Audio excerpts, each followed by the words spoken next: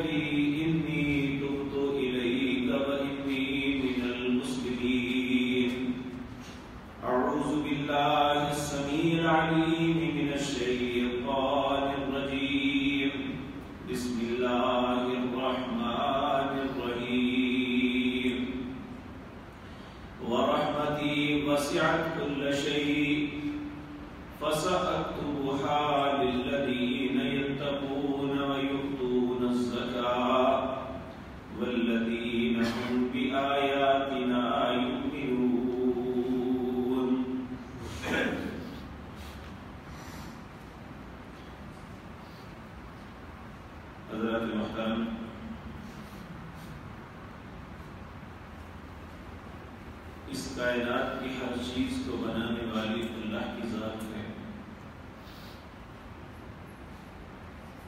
نہ صرف اس نے بنایا ہی نہیں، بلکہ ہر چیز کی حفاظت بھی وہی کر رہا ہے۔ ولا يقوده حفظهما، اور وہ اپنی مخلوق کی حفاظت سے کبھی نہیں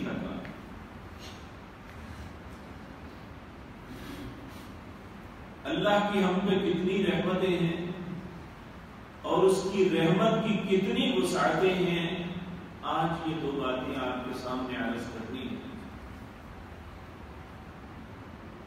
اللہ رب العزت کی رحمت کے دو حصے ہیں۔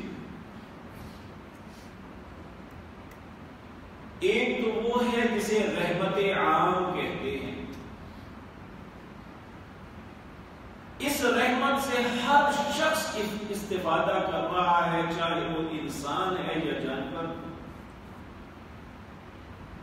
حتیٰ کہ پرندے، درندے، چرندے، نباتات اور بھی جتنی مخلوقات ہیں سب۔ انسان اور جن۔ اور اس میں اللہ کی کوئی تخصیص نہیں کہ یہ مجھے مانتا ہے یا نہیں مانتا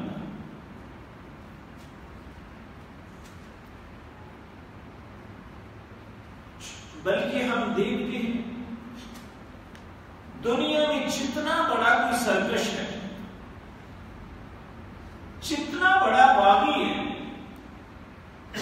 جتنا اللہ کی مخالفت کرنے والا ہے، اللہ دنیا میں اور زیادہ اسے وسعتیں دیتا ہے۔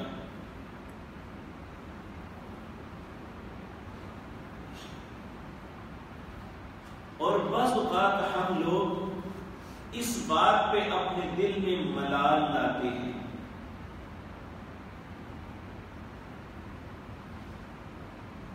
حالانکہ اللہ رب العزت نے اپنے پاک پیغمبر جناب محمد رسول اللہ صلی اللہ علیہ وسلم کو فرمایا، لا يغرنك تقلب الذين كفروا في البلاد۔ کبھی بھی اس بات پہ غم میں مبتلا نہ ہونا کہ دنیا میں یہ میرے سرکش باغی اور میرے نافرمانی کرنے والے یہ بڑی عشرت میں کرتے ہیں، یہ چیز تمہیں غم میں مبتلا نہ کرے۔ متر مبتلی۔ ان کے پاس جو کچھ ہے، بہت تھوڑا ہے۔ میرے عزیز بھائی، اگر دنیا میں کسی کو بہت بڑی بھی بادشاہت ملی ہے تو جنت کے اندر جو سب سے غریب جنتی ہوگا اسے کیا ملنا ہے؟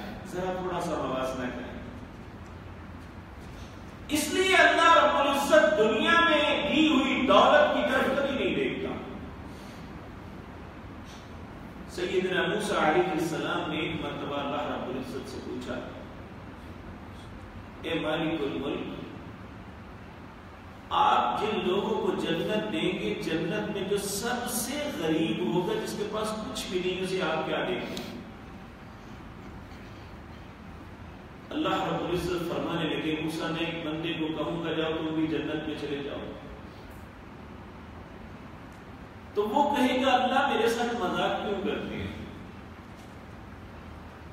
ایک حدیث میں آتا ہے، وہ کہتے ہیں جنت میں تو سب چلے گئے بھر گیا میرے لیے کہا جگہ یہ انسان کا ضرف ہے۔ اسے اللہ کی وسعتوں کا علم نہیں ہے۔ وہ اتنا مایوس تھا کہ اللہ رب العزت اسے فرمانے لگے کہ اگر میں تمہیں جنت میں اتنی جگہ دے دوں جتنی دنیا میں سب سے بڑی کسی کو بادشاہ دی تھی کریم صلی اللہ علیہ وسلم فرماتے ہیں کہ اگر یہ دنیا میں انسان ہوتا اور ایسی مایوسی کی حالت میں اتنی بڑی خوشخبری اسے ملتی تو مر جاتا۔ اور یہ یاد رکھیں کہ اچانک کسی کو بہت بڑی خوشخبری ملے نا۔ آپ نے سنا ہوگا، پینسٹھ کی جنگ میں اللہ نے ہماری فوجوں کو فتح کی۔ تاشکند کے اندر ٹیبل پہ جا کے یہ سارا معاملہ ہماری قیادت ہار ہے۔ اور اس وقت جو نہرو تھا، وہ اس بات پہ، اس کے دل پہ اتنا خوشی کا اثر ہوا کہ میں تو ٹیبل پہ سب کچھ لے آیا ہوں، اسے ہارٹ اٹیک ہوا، مر گیا۔ بس بات انسان کو خوشی ایسی ہے۔ نبی کریم صلی اللہ علیہ وسلم نے فرمایا، چونکہ اب موت نہیں ہے وہ بہت خوش ہوگا۔ جنت کی طرف جائے گا، تو اللہ رب العزت کی طرف سے اعلان ہوگا جا تمہیں دگنی کرنی یعنی دنیا میں جب سے دنیا بنی، جب تک رہے گی، سب سے بڑی بادشاہ دی جا رہی ہے کہ کہا دگنی کر دی۔ ابھی وہ جنت کے قریب نہیں پہنچا، کہا پانچ گنا کر دی جب وہ جنت کے دروازے پہ پہنچے گا، اللہ کہے گا جب دس گنا کر دی موسا علیہ السلام سے برداشت نہ ہوا کہنے لگے، اللہ اگر یہ سب سے غریب ہے، تو پھر امیر کیسا ہوگا؟ تو اللہ رب العزت نے فرمایا، اے موسا ولا عین رأت، ولا اذن سمعت، ولا خطر على قلب بشر۔ دنیا میں کوئی ایسا کیلکولیٹر، کوئی ایسا کمپیوٹر ایجاد نہیں ہوا جو اس کی فیگرز کو لکھ سکے۔ نہ کسی آنکھ نے وہ دیکھا، نہ کسی کان نے وہ سنا، نہ کسی دل کے اندر کھٹکا پیدا ہوا جو میں ان کو دوں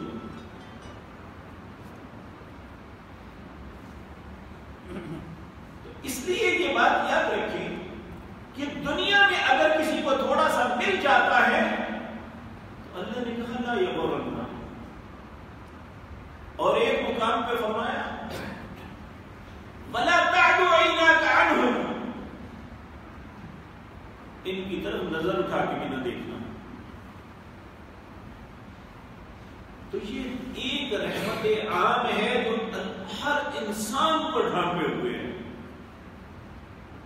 اس میں کوئی تمیز نہیں نہ ایماندار کی نہ فاسد کی نہ مسلم کی نہ کافر کی نہ مومن کی نہ سرکش کی اللہ سب کو دے رہا ہے اور میرے عزیز بھائی اور رحمت خاص تو بہت بڑی چیز ہے اس رحمت کو تھوڑا سا سوچیں ادب کی ایک کتاب میں ایک بزرگ کا واقعہ لکھا ہے کہ ایک نوجوان بڑا گلا کرتا تھا ہر وقت کہ مجھے کیا دیا اللہ میرے پاس کیا ہے ایک دن وہ بزرگ اس کی روزانہ باتیں سنتے تھے ایک دن کہنے لگے بیٹے میرے پاس میں ایک بات کر ایک سودا کرنا چاہتا ہوں تیرے وہ کیا کہنے لگے بیٹے، یہ تیری آنکھ ہے۔ میں ایک لاکھ درہم دیتا ہوں، یہ مجھے دے دو۔ میں میں تو نہیں دوں گا۔ چلو، آنکھ میں دوں اچھا اس طرح کرو، دو لاکھ درہم دے دو۔ لے لو، یہ ہاتھ مجھے دے دو۔ کہنے لگا، میں تو نہیں دوں گا۔ اللہ حضرت قیاس جسم کے ایک ایک عزت کی قیمت لگاتے رہے اور وہ انکار کرتا رہا۔ جب وہ ہر چیز کا انکار کر بیٹھا تو پھر وہ کہنے لگے، بیٹے، تجھے احساس نہیں ہے کہ اتنی قیمتی تیرا جسم ہے اور تو ہر وقت یہ کہتا ہے کہ میرے رب نے مجھے دیا کیا؟ میرے بھائیوں عزت تو دور کی بات ہے۔ یہ آنکھ ہے ہم دیکھتے ہیں۔ ایک مصر کے عالم دین تھے، پروفیسر محمود فلکی۔ انہوں نے قرآن کے، قرآن اور سائنس کے موضوع پہ بہت بڑا خزانہ لکھا ہے۔ مصر کے ہی ایک بہت بڑے لیڈر تھے، سید قطب شہید انہوں نے۔ جب انہیں سزائے موت ہوئی تو اس میں انہوں نے تفسیر فی زلال القرآن لکھی۔ ان کے پاس قلم کاغذ نہیں تھا، دیواروں پہ لکھتے رہے۔ انہوں نے اپنی کتاب میں یہ ساری تذکرہ کیا ہے۔ ہم آنکھ سے دیکھتے ہیں۔ اور یاد رکھیں، اس ایک آنکھ کے اندر ایک لاکھ سے زیادہ خلیے ہیں۔ جب وہ سارے حرکت کرتے ہیں تو دوسرے کا چہرے کی تصویر ہمارے ذہن میں اور ان سب کو کون چلانے والے یہ کس کی رحمت ہے؟ ہمارے معاشرے کے اندر کتنے ایسے لوگ ہیں ہمارے بھائی، جن کے پاس یہ سارا آلہ تو موجود ہے لیکن وہ دیکھنے کی قوت اللہ نے سلب کر لی ہے وہ باوجود سب کچھ ہونے کے نہیں دیکھ سکتے تو جب سے ہم پیدا ہوئے ہیں، اس وقت سے لے کر آج تک کیا دیا ہے ہم نے اللہ جبکہ اتنی بڑی نعمت ہے نبی کریم صلی اللہ علیہ وسلم صبح اور شام کے اذکار میں اللہ سے التجا کیا کرتے اللہم عافنی فی بدنی، اللہم عافنی فی سمعی، اللہم عافنی فی بصری، لا الہ الا انتا اللہ، یہ تو نے دیا ہے اس کو عافیت دینا۔ یہ جسم تیرا ہے تیری رحمت سے قائم ہے۔ اسے عافیت سے نوازنا، اگر بیمار ہو جائے تو بڑے بڑے پہلوان جو ہیں، اپنے قدموں پہ کھڑے نہیں ہو سکتے۔ بڑے بڑے قوت والے انسان، انہیں راشے کی بیماری ہوتی ہے، اپنے قدموں پہ نہیں کھڑے ہو سکتے، ایک ایک قدم نہیں اٹھا سکتے۔ اور وہ ایک ایسا وقت ہوتا ہے جب کسی کو پکڑ لے تو ہلنے نہیں دیتے۔ کہ اس اللہ کی رحمت ہے یہ کان ہے۔ آدھا انچ مربع۔ یہ اتنی سی مشین ہے۔ اس میں چودہ ہزار گراریاں ہیں۔ میں بول رہا ہوں، آپ میری بات سن رہے ہیں۔ جب وہ ساری کی ساری چلتی ہے تو آپ میری آواز کو سنتے ہیں۔ اگر ان چودہ ہزار گراریوں میں ایک بھی ڈیفیکٹ میں آ جائے، خراب ہو جائے، نہ چل سکے، تو ہم آواز نہیں سن سکتے۔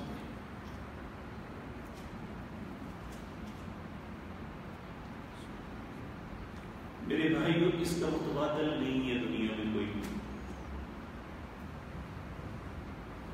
آپ آپ دیکھیں، چند ایک چیزیں ہیں۔ جس کی پلانٹیشن ہوتی ہے۔ تبدیل ہو سکتا ہے لیکن وہ بھی خود نہیں بنا سکے۔ وہ بھی کسی انسان سے مانگنا پڑتا ہے، لینا پڑتا ہے۔ اور صرف جگر کی پلانٹیشن کے لیے، تبدیلی کے لیے کم از کم چالیس لاکھ روپیہ لگتا ہے۔ تو جب ہمارے بابا کو اللہ نے ہمیں اللہ نے ہمیں دیا تھا۔ کتنے پیسے دیے تھے اس وقت سے آج تک ہماری تو موٹر سائیکل میں پیٹرول نہ ہو، اس کے انجن میں موبائل ختم ہو جائے تو وہ نہیں چلتی۔ اس اللہ کی رحمت ہے کہ وہ اپنی زمین پہ چلنے، پھرنے، سوچنے، سمجھنے، بولنے، سننے کی اجازت دے رہا ہے۔ کبھی انسان صرف اپنے سر کے بالوں سے شروع ہو جائے، اپنے پاؤں کے ناخن تک سوچے، میرے بھائیوں، یہ صرف انگلی کے اوپر سے ناخن اتر جائے نا تو انگلی کا حسن ختم ہو جاتا ہے۔ صرف ناخن اتر جائے۔ حالانکہ وہ اپاہج نہیں ہوتا،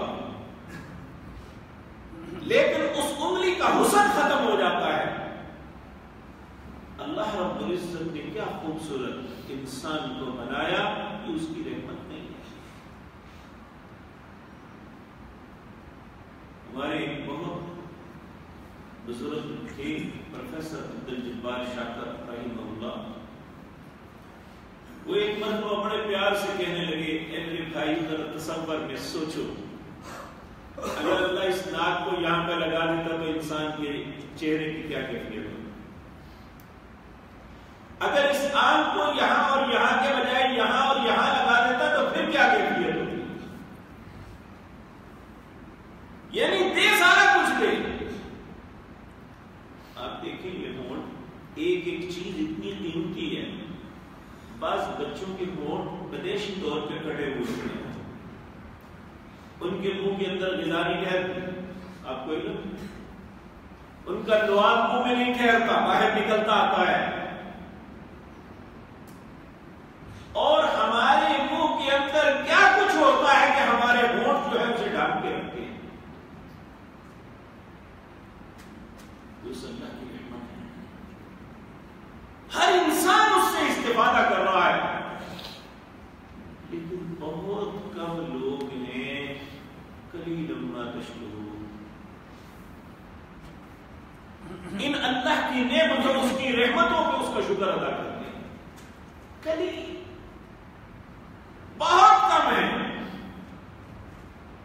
اور شکر نہ کر کے ہم اللہ کا کچھ نہیں بگاڑ رہے۔ بلکہ بگڑے گا ہمارا۔ وَلَئِن كَفَرْتُمْ إِنَّ عَذَابِي لَشَدِيدٌ۔ اللہ ہم سے مانگتا کچھ نہیں ہے۔ وہ کہتا ہے کم از کم جس اللہ نے تم پر رحمت کی ہے، جس کے احسان ہے، اپنے محسن کا شکریہ تو ادا کر دو۔ دیکھیں ہم بہت چھوٹے لوگ ہیں۔ اگر ہم کسی کو کوئی گفٹ دیتے ہیں، کوئی چیز، وہ معمولی قیمت کی ہے۔ آپ کسی بھائی کو دیں، وہ اسے وصول کر کے آپ سے سلام دعا بھی نہیں لے کے چل پڑے۔ تو کیا بیتے گی آپ کے دل میں؟ کیا سوچائے گی یار اتنا بےحدہ آدمی میں نے اس کی قدر کی ہے۔ میں نے اسے گفٹ دیا ہے۔ اور اس نے مڑ کے مجھے دیکھا بھی نہیں۔ میرے ساتھ بات بھی نہیں کی۔ اور یہ بےحود کی میں اور آپ صبح اور شام اللہ کے ساتھ کرتے ہیں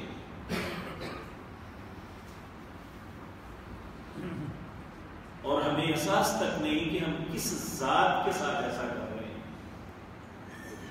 اگر ہم اپنے دوست کے ساتھ کریں، ہمارا دوست ہمیں بلانے کے لیے تیار نہیں ہوتا۔ وہ دوستی ختم کر دیتا ہے، توڑ دیتا ہے تعلق۔ رشتے دار رشتے توڑ دیتے ہیں۔ اسے احساس ہی نہیں ہے، میں اس کے ساتھ کیا کر رہا ہوں یہ میرے ساتھ کیا کر رہا ہے لیکن پھر بھی جب تک ہم زندہ رہیں گے، اللہ کی یہ رحمتیں ہم پہ برستی رہیں لیکن ایک وقت آئے گا، یہ رحمت عام اس دن ختم ہو جائے جب ہمارے خلق سے ہماری جان نکل جائے گی، اب اللہ دنیا کے معاملات میں جو درگزر فرما رہا تھا، وہ سب ختم ہو جائے گی۔ پھر اس وقت کیا ہوگا؟ یوم لا ينفع الظالمین معذرتهم پھر اب یہ وقت آ گیا ہے کہ کسی ظالم سے اس کی معذرت کو قبول نہیں کیا جائے. وَلَهُمُ الْلَعْنَةُ وَلَهُمْ سُوءُ الدَّارِ اس پہ لعنت ڈال کے برے گھر میں داخل کر دیا جائے گا، اللہ ہم سب کو محفوظ رکھے اور میرے عزیز بھائیو، ایک ہے اللہ کی رحمت خاص. نبی کریم صلی اللہ علیہ وسلم نے فرمایا کہ یہ بات میرے رب نے مجھے بتائی، اللہ اپنی مخلوق، اپنے انسانوں کو مخاطب ہو کے کہتے ہیں، اے ابن آدم، یہ بات یاد رکھو کہ میں رزق ہر کس و ناقص کو دیتا ہوں، یہ نہیں دیکھتا کہ مانتا ہے یا نہیں مانتا۔ لیکن دین میں اسے دیتا ہوں جسے میں پسند کر لیتا ہوں رزق کے لیے اللہ کی پسندیدگی ضروری نہیں ہے وہ جیسے بھی مانگے گے وہ دے دے گا کوئی حلال مانگتا ہے اللہ تب بھی دیتا ہے حرام مانگتا ہے حرام بھی دیتا ہے جیسے انسان چاہتا ہے اسے مل جاتا ہے لیکن دین صرف اسے ملتا ہے جسے اللہ پسند کر لے اور قرآن عزیز کے اندر اللہ رب العزت فرماتے ہیں کہ میری رحمتیں تم پہ کیسے بڑھیں گی کیسے مساعدے ملیں گے۔ اللہ رب العزت مخاطب ہو کے انسانوں کو فرماتے ہیں، خصوصاً اہل ایمان کو۔ یا ایوہ الذین آمنوا اتقوا اللہ۔ اے ایمان کے دعوے دارو، اللہ سے ڈرو۔ وآمنوا برسول۔ اور اس کے رسول کی ہر بات کو مان لو کیا ملے گا پھر یؤتیکم من رحمتی. تمہیں اللہ اپنی دگنی رحمتیں عطا فرمائے. وَيَجْعَلْ لَكُمْ نُورًا تَمْشُونَ بِهِ. اور تمہیں ایسا نور عطا کیے کرے گا کہ لے کے پھرو گے. اب ہم سوچیں گے کہ نور کا کیا فائدہ ہو دنیا میں جی؟ میرے عزیز بھائیو یہ باتیں آپ نے سنی ہوگی، جب قیامت قائم ہوگی، سورج بے نور ہو جائے، چاند ختم ہو جائے گا، ستارے سب توڑ دیے جائیں گے۔ اور ہماری دنیا میں روشنی ان تینوں چیزوں کی وجہ سے سورج سے روشنی ہوتی چاند سے روشنی ہوتی یا ستارے ہوں تو انسان اپنے رستے کا تعین کر سکتا ہے۔ اندھیروں کے اندر بھی اگر ستارے موجود ہوں تو یہ سب کچھ ختم ہو جائے گا۔ میں ایک اور چھوٹی سی مثال دیتا ہوں۔ آپ ماشاءاللہ سارے لوگ ڈرائیونگ کرتے ہیں۔ جس سڑک کے اوپر وائٹ اور یلو لائنیں لگی ہو نا، وہاں ڈرائیونگ بڑی آسان ہوتی ہے۔ اور اگر سڑک کے اوپر لائنیں مٹا دی جائیں تو اندھیری راتوں میں باوجود روشنی کا کچھ بھی نہیں پتا چلتا۔ اگر تھوڑی سی دھند ہو یا کچھ بھی ہو، انسان اپنے رستے کا تعین نہیں کر سکتا۔ اور نہ اسپیڈ پکڑ سکتا۔ ہے لیکن جب چار سو اندھیرا ہو، جب قیامت کا دن قائم ہوگا، چار سو اندھیرا ہوگا نہیں ہوگی۔ صرف انسان، ایمان اور نیک عمل کی روشنی لے کے آئے۔ نبی صلی اللہ علیہ وسلم نے فرمایا کہ بعض لوگ، ان کے اعمال، ان کا ایمان اتنا پختہ ہوگا کہ ان کی روشنی مدینے سے لے کر یمن تک ہوگی۔ اور جو کم سے کم ہے، ان کے پاؤں کے ناخن جو ہے، انگوٹھے کا ناخن، اس سے تھوڑی سی لائٹ نکلے گی۔ اور یہ روشنی جو ہے، انہیں کیا فائدہ دے گی؟ اللہ رب العزت سورت تحریم میں فرماتے ہیں يوم لا يخزي الله النبي والذين آمنوا معه، نورهم يسعى بين أيديهم وبإيمانهم يقولون ربنا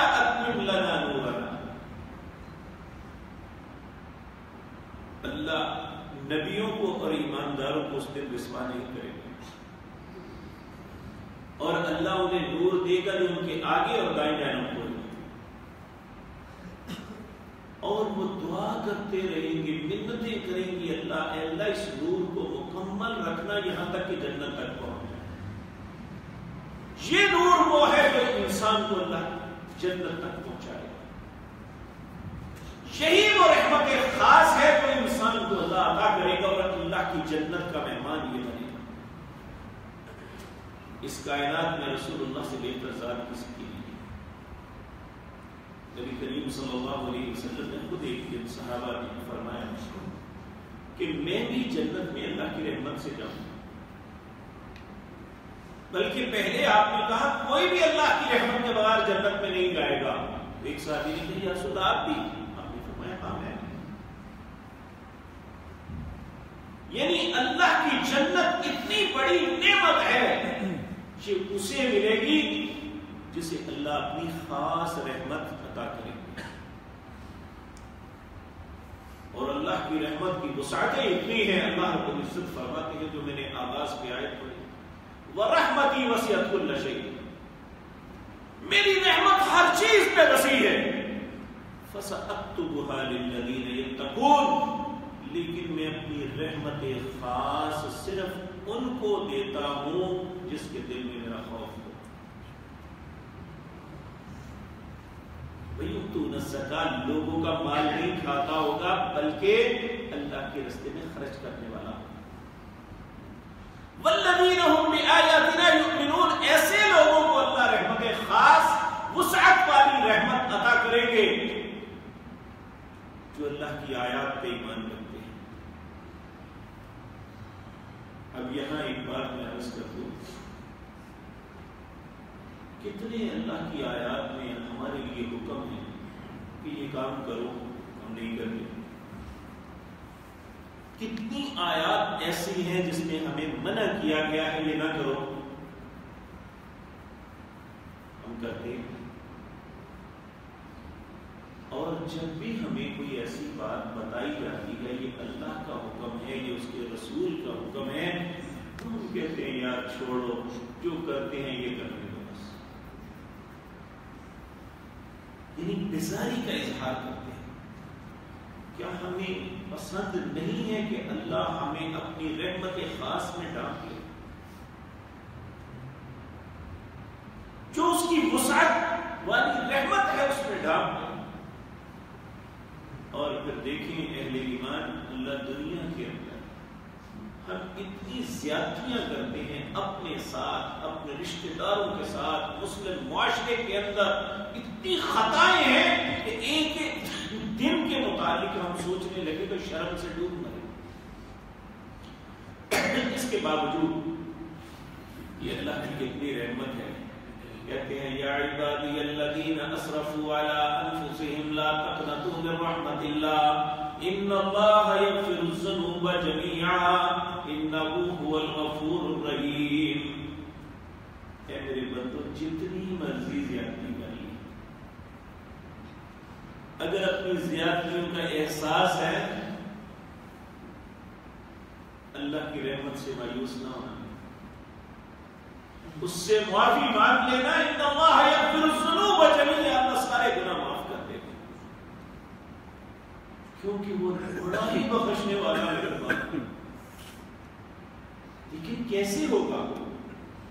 کیسے خطائیں دھلیں گی؟ کیسے معافی ملے گی؟ کیسے اللہ ہم پہ رحم کریں گے؟ اللہ رب العزت فرماتے ہیں، وَأَطِيعُوا اللَّهَ وَالرَّسُولَ لَعَلَّكُمْ تُرْحَمُونَ۔ اگر تم چاہتے ہو کہ تمہارا رب تم پہ رحم کرے، تو پھر دو دو چیزوں کو اپنی زندگی کا بانٹو اپنی زندگی کا ایم بنا لو کہ اطاعت صرف اللہ کی کرنی ہے اور اس کے رسول کی۔ اس کے علاوہ کسی کی اطاعت کا حکم ہی نہیں ہے اگر ایسا کرو گے اتی اللہ اور رسول اللہ کی اطاعت کرو گے اس کے رسول کی پھر کیا ہوگا تاکہ تمہارا رب تم پر رحم کرے اس کی رحمت میں آ جاؤ گے تم اور پھر اس کا انتظار نہیں کرنا اگلی آیت میں اللہ فرماتے ہیں وَسَارِعُوا إِلَى مَغْفِرَةٍ مِّن رَبِّكُمْ لوگوں بھاگ بھاگو دوڑ لگا دو کس کا الى مغفرت من ربکم اپنے رب سے معافی مانگنے کے لیے آپ دیکھیے نا کوئی بڑی اہم چیز ہو نا کہ بیٹے بھاگ کے ہو وہ ختم نہ ہو جائے جلدی سے لے کے آؤ۔ یہ بھی بھاگو وساریو بھاگو، کہیں ختم نہ ہو جائے زندگی۔ پھر توبہ کا دروازہ بند ہو جائے گا۔ اس سے پہلے پہلے وساری مغفرت من بھاگو اپنے رب کی مغفرت کی طرف۔ وجنت عرضها السماوات والارض اعدت للمتقین۔ اس کی جنت کی وسعتیں زمین و آسمان سے زیادہ ہیں، اس کی چوڑائی کتنی ہے تو لمبائی کتنی ہے۔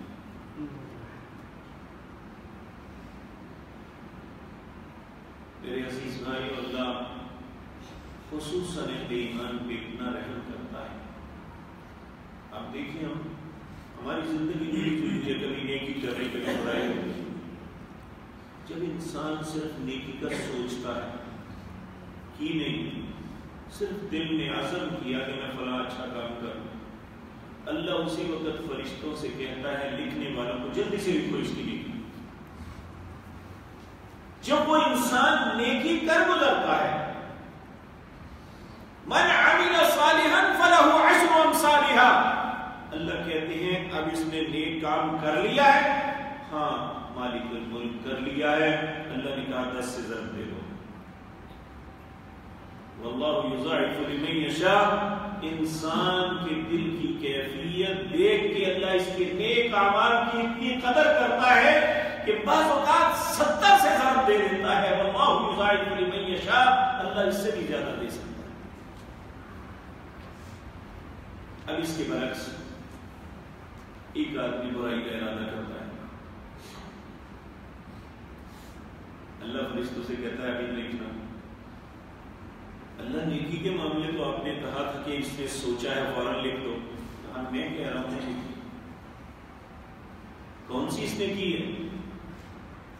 جب انسان برائی کر لیتا ہے، پھر کہتے ہیں، اللہ کہتے ہیں، ایک ہی لکھنا اسے دگنا نہ کرنا۔ اور پھر ایک اور بات، ایک انسان برائی کا ارادہ کرتا اور وہ برائی کرنے سے پہلے اس کے دل میں اللہ کا خوف آ گیا کہ میں نہیں کروں گا، نہیں۔ اللہ اس کی اس بات پہ اتنا خوش ہوتا ہے، فرشتوں سے کہتا ہے، اس کی ایک نیکی لکھ دو۔ نہ اس نے برائی کی ہے، نہ چھوڑی ہے، صرف سوچا تھا اور اب کہنے لگا، میں نہیں کروں گا۔ یہ اللہ رب العزت کی وہ وسیع رحمت ہے۔ کہاں کوئی کرتا یہ اس نے سوچ کے برائی کو چھوڑ دیا ہے، میرے فرشتے اس کی لیے کریں گے۔ اب بد نصیبی کوئی انسان پھر بھی کر لیتا ہے۔ تو اللہ رب العزت نے اس کے لیے توبہ کا دروازہ رکھا ہے۔ اور کہا ہے، یا ایھا الذین آمنوا توبوا الی اللہ توبۃ نصوحا۔ اے ایمان کے دعویدارو اللہ سے توبہ کر لو۔ اور سچی کرنا توبہ میں کیا کروں گا؟ تمہاری ساری زندگی کی خطاؤں کو ریموو کر دوں گا، اس نے کچھ نہیں کیا۔ ان بلکہ سورت فرقان میں اس سے بھی بڑی بات ہے۔ اللہ فرماتے ہیں اللہ انتا جو شخص اپنی خطاؤں میں نادم ہو کے اللہ سے توبہ کر لیتا وہ ایماندار بن جاتا ہے، وعمل صالحا اور نیک عمل کرتا ہے۔ فَأُولَئِكَ يُبَدِّلُ اللَّهُ سَيِّئَاتِهِمْ حَسَنَاتٍ۔ اس نے سابقہ زندگی میں جو گناہ کیے ہوتے ہیں، اللہ اس کی توبہ کو قبول کر کے انہیں بھی نیکیوں میں لکھ دیتا ہے یہ ہے اللہ کی رحمت اور میرے بھائیوں یہ بعض لوگ شوباشی کے لیے کہتے ہیں جی فلاں نے اپنے بیٹے کی شادی پہ ڈالر جو ہے انہیں لٹایا۔ کوئی جی موبائل موبائل پھینکے۔ اچھے کھاتے پیتے، اچھے گھروں کے لوگ لوٹنے کے لیے چل پڑتے ہیں۔ جی ڈالر تو یہاں تو لوٹ کا مال ہے۔ یہاں تو جنت مل رہی ہے۔ ساری خطاؤں پہ قلم پھر رہا ہے۔ ریموو کر رہا ہے اللہ۔ کوئی ہے اللہ کی ان رحمتوں کو سمیٹنے والا؟